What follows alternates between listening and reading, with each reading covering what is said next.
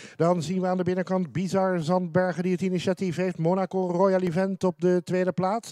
Dat zijn op dit moment de paarden die het aanvoeren. Dan Gabor Reis, makkelijk te herkennen. De nummerdekjes zijn uh, head-on te zien. Aan de binnenkant zien we dan El Salza. Aan de buitenzijde komt Serest naar voren. En intussen is de leiding overgenomen door Monaco Royal Event. Monaco Royal Event gaat uitlopen op Bizar Zandbergen. Op afstand dan El Salza. Daar komt aan de buitenzijde nog Eva Hallink naar voren. En die gaat mogelijk nog gevaarlijk worden voor de Maar de vogel lijkt gevlogen. Monaco Royal Event. Monaco Royal Event met John de Leeuw. Die gaat de laatste koers winnen op deze dag hier op Duinlicht. Met op de tweede plaats daarachter Eva Hallink. En op de derde plaats krijgen we een, eh, de nummer 6 El Salsa die een bunch aanvoert.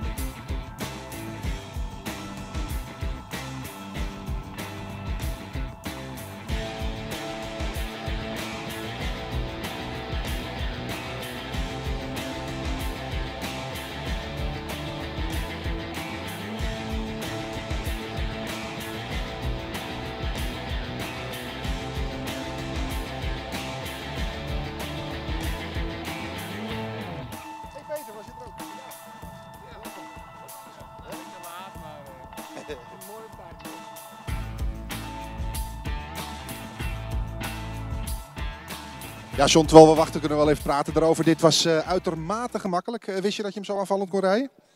Nou ja, kijk, hij, is, uh, hij houdt wel van doordouwen. En hij ging zo strak onderweg. Ik denk, nou ja, ze hadden al in het begin heel hard gereden.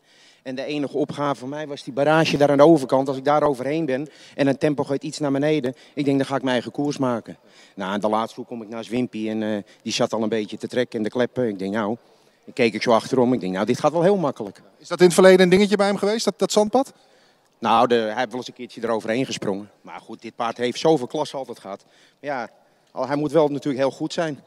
En dat blijkt wel weer dat hij vandaag heel goed was, want uh, het is uh, geweldig hoe hij dit afmaakt. Wou ik zeggen, wou ik zeggen. Goed einde. de winnaar is officieel. Dankjewel. Mooi einde voor de Stal Krebas. Twee uh, sterke winnaars ter afsluiting van deze meeting hier op de Rembaan Duinlicht. En de laatste winnaar is Monaco Royal Event, dames en heren. Paard dat ja, toch een belofte is nog altijd gebleven. En het nu waarmaakt hier op het gras. U kunt in de handen John de Leeuw achter Monaco Royal Event.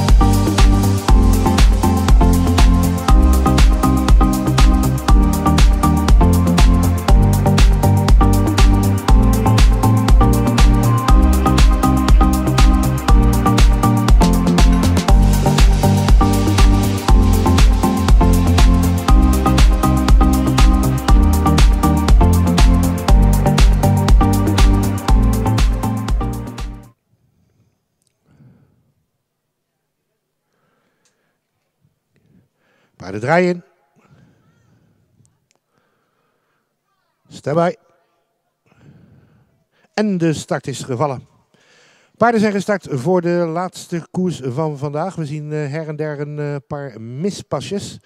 Na de start heeft Eva Hallink de leiding genomen. Die heeft een lengtevoorsprong genomen. Op de tweede plaats is het daarachter dan. Als de paarden de eerste meters doorkomen en op, komen de elf. Uitgeschakeld, nummer 3, galop 3 uitgeschakeld. Terwijl Hendrik Schermer wordt uitgeschakeld, komt daar de nummer 14 al oprijden. Bizar Zandbergen gaat bij het indraaien van de bocht door het derde spoor. Door drie sporen gaan we de eerste bocht in. Uitgeschakeld, nummer 11, galop, 11 uitgeschakeld. de nummer 11, Canon de la Douce wordt uitgeschakeld. Deelnemers op weg naar de overzijde van de baan. Nu worden de posities herkozen, maar El Salsa die wil koetkekoet de leiding hebben en heeft een lengtevoorsprong genomen. Eva Hallink op de tweede plaats. Aan de buitenzijde is het dan Bizar Zandbergen. Dat zijn de eerste drie als ze naar de overzijde gaan. Verder weg in het veld hebben we dan Gabor Reis. En op een vijfde lengte daarachter is het Monaco Royal Event. En die wordt dan weer op vijf lengte gevolgd door Sereste. Zo zijn de paarden dan aan de overzijde van de baan. En achter deze deelnemers hebben we dan nog op uh, afstand Jaap van Rijn. Hij rijdt uh, daar de nummer 7, Call Him George.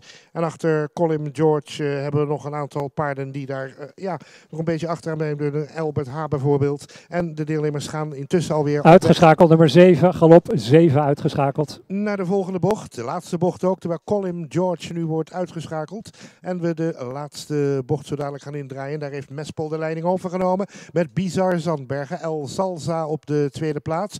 Zo zijn we dan in de laatste bocht. Monaco Royal Event, die is ook uit het pak gekomen en meldt zich nu ook in de front rank. Zo, wel, zelfs op de tweede plaats nu, als de deelnemers de bocht doorkomen. Uitgeschakeld, nummer 12, galop 12 uitgeschakeld. Ook Ultrazas maakt een galopade, wordt uitgeschakeld. Als we de laatste rechte lijn inkomen, dan zien we aan de binnenkant Bizar Zandbergen die het initiatief heeft. Monaco Royal Event op de tweede plaats.